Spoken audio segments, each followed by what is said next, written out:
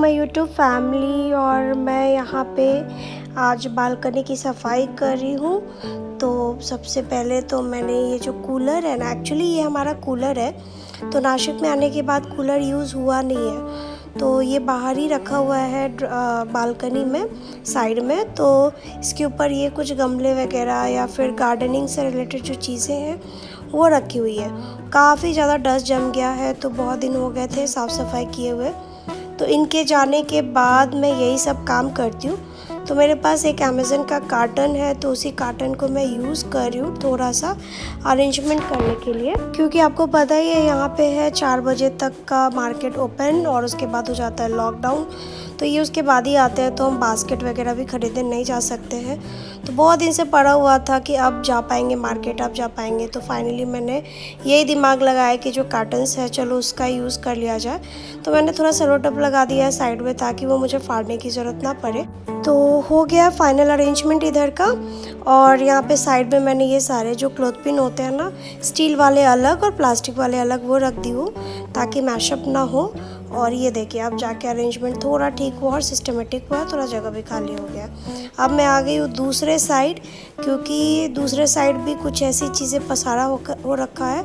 और ये जो सिलेंडर देख रहे हैं आप लोग ये लैंडलॉर्ड का है। ये गीज़र का बॉक्स भी लैंडलॉर्ड का है उसमें कुछ उनकी चीज़ें हैं। जो सिगड़ी है वो भी लैंडलॉर्ड की है। तो अभी घर में कहाँ ये सब रखेंगे ना तो ये सब बालकनी में ही है।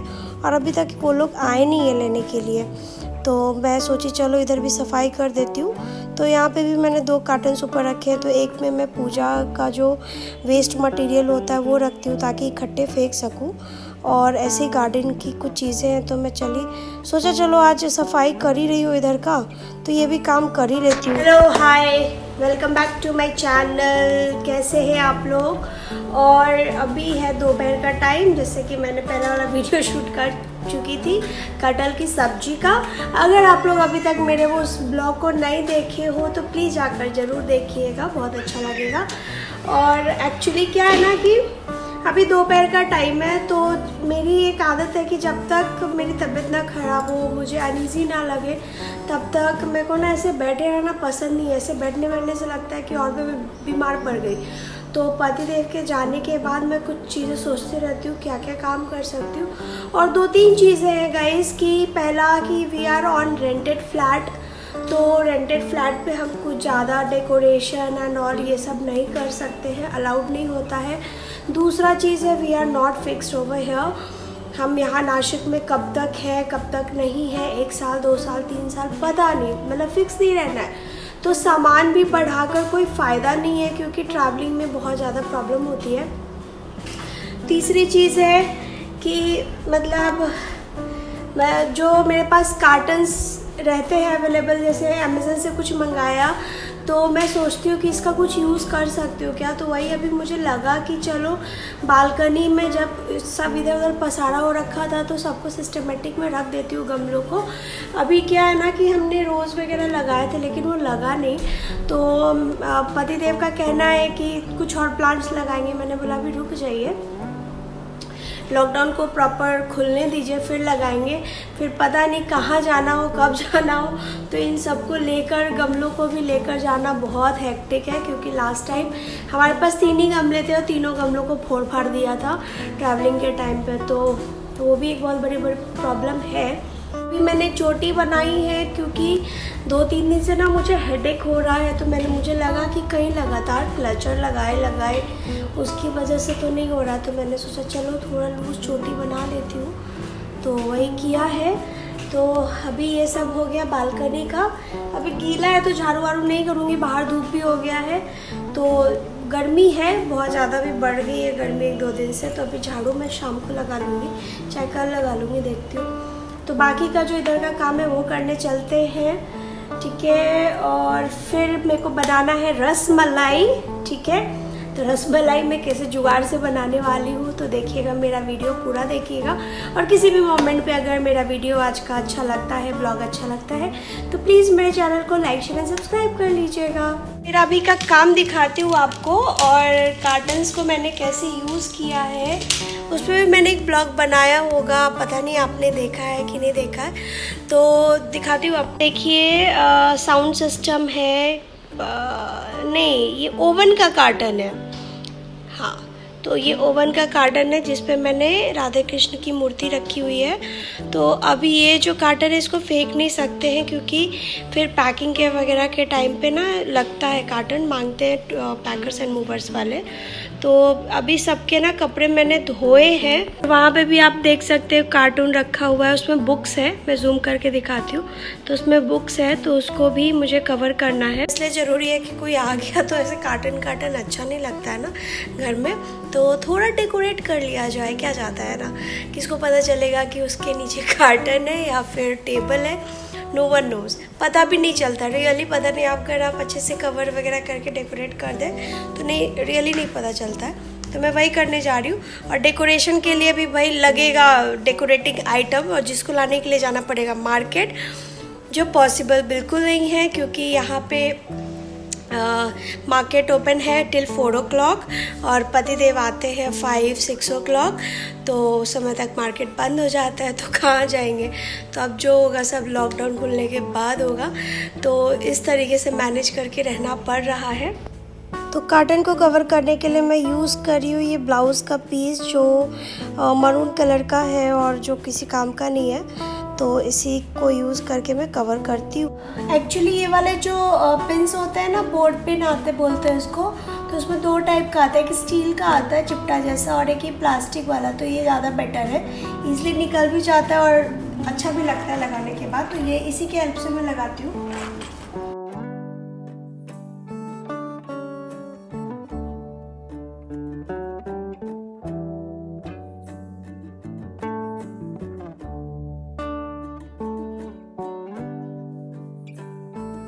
हो गया ना?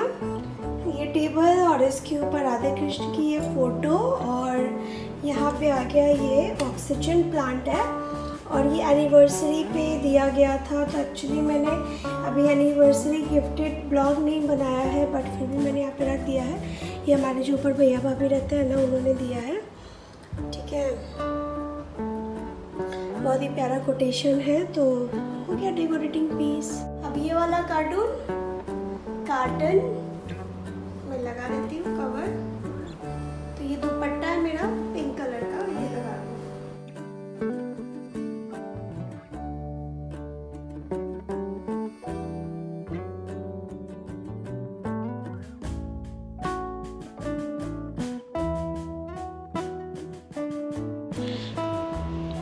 तो ये तैयार हो गया मेरा ट्राईपॉड का टेबल तो यहीं पे मेरा दोनों ट्राईपॉड स्टैंड रहता है। तो मुझे इधर उधर ढूँढने की ज़रूरत नहीं पड़ती और इधर साइड से भी मैंने लॉक कर दिया है। एक्चुअली एनिवर्सरी के दिन रसगुल्ले आए थे लगभग एक के जी तो हाफ़ के जी यूज़ हुआ है हाफ़ के जी ऐसे ही है। तो क्या हुआ है कि ये रसगुल्ले बहुत ही ज़्यादा मीठे हैं, बहुत ही ज़्यादा। मतलब मुझे भी नहीं खाने का मन कर रहा है इनको भी नहीं। तो मैं ना उसका पूरा शुगर निकालने वाली हूँ रसगुल्ले का और उसका बनाने वाली हूँ रसमलाई। तो कैसे? अगर एक और चीज़ बताना चाहूँगी आपको, कभी आप रसगुल्ले लाते और होता है ना दो तीन दिन के बाद थोड़ा सा खट्टा होने लगता है रसगुल्ला तो उसको फेंकिए मत, उसको भी आप इसी तरीके से बनाएँगे ना तो वो बहुत टेस्टी बनेगा रसमलाई और खट्टापन तो उसका पता भी नहीं चलेगा। तो उससे क्या होता है, उसका रसगुल्ले में तो छेना होता है ना? तो छेना हमारे लिए तो यूज़फुल है। तो उसका जो भी खट्टापन, जो भी है शुगर वगैरह, वो हम निकाल लेंगे। तो कैसे? तो उसके लिए तो ये मेरे पास चार रसगुल्ले बचे हुए हैं, क्योंकि एक मैंने खाया, एक इन्होंने खाया तो पता चला बहुत मीठा है। और इधर मैंने रखा है गर्म पानी करने के लिए। तो जैसे इसमें बॉयल आता है, फिर देखिए मैं क्या कर तो पानी में बॉयल आ गया है। तो ये जो रसगुल्ले है, इसका जो एक्सेस थोड़ा सा बहुत ज़्यादा प्रेस नहीं करना है। निकाल कर आपको इसमें डालते जाना है। बहुत प्रेस करने पे वो फट जाएगा, वो काम हम बाद में कर लेंगे।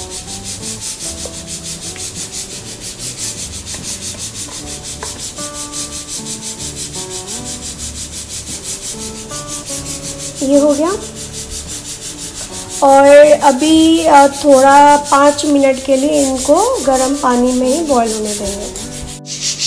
अभी मैंने गैस ऑफ़ कर लिया है। हार्डली पाँच मिनट भी नहीं, एक मिनट में ही ये देखिए, बिल्कुल पचक गया है। वो आपको समझ में आ जाएगा। जैसे फुला फुला था ना तो वो थोड़ा थोड़ा लूज़ होने जैसा लगे। जैसे प्योर छेना होता है ना, वैसा। तो हमने अब इसमें से छेना निकाल लिया।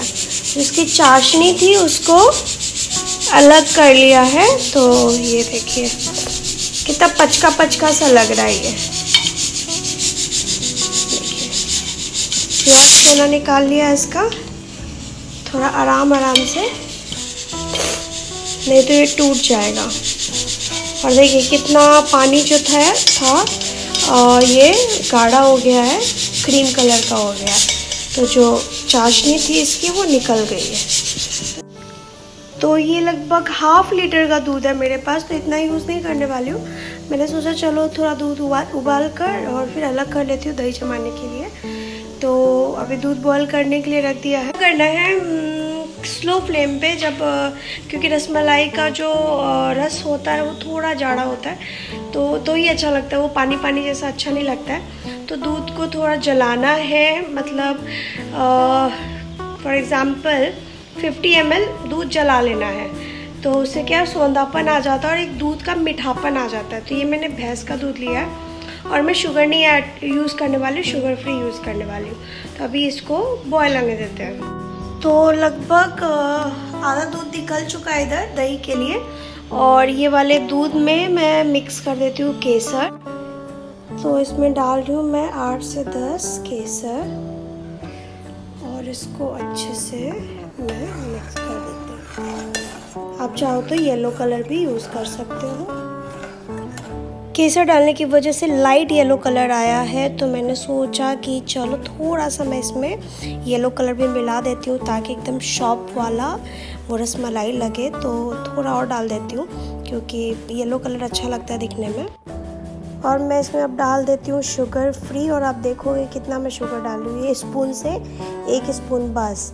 इतने में ही बहुत मीठा हो जाएगा क्योंकि दूध जल चुका है काफ़ी। और ये तैयार है मेरा रस और इसमें जाएगा ये। तो अब मैं इसके ऊपर थोड़ा थोड़ा ये रस डाल देती हूँ।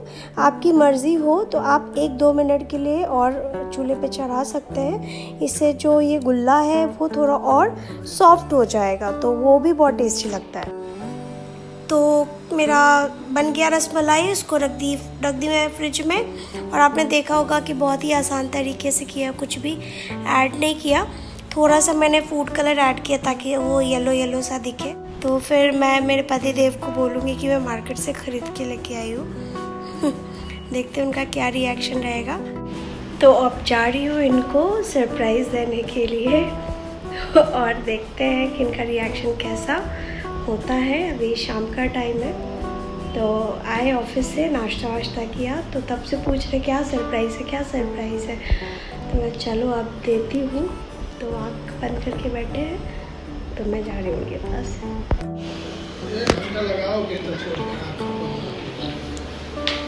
हाँ अब देखो। दोनों कटोरी मेरे लिए था। तो कुछ एक्सप्रेशन नहीं दोगे? हाँ?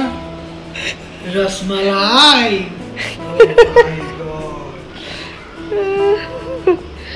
कैसा लगा? ज़बरदस्त.